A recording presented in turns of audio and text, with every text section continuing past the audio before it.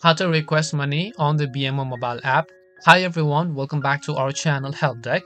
In this video, I will guide you on how to request money from a contact using Interac e-Transfer and the BMO mobile banking app. So make sure to watch this video till the end. So first of all, to get started, just sign into your BMO mobile app. Then tap on the More button, which is at the bottom right hand corner of the screen.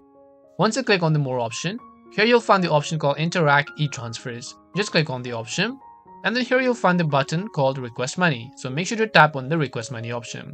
As you do that, here you'll find the contact that you've added. If you've not yet added a contact, you can tap on the plus icon on the top right to do so. So over here, just click on the current contact. Then make sure to actually enter your request needs between $0.1 and $3,000.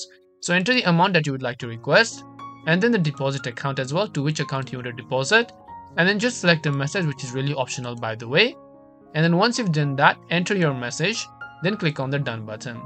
Make sure everything is correct and then just tap on continue.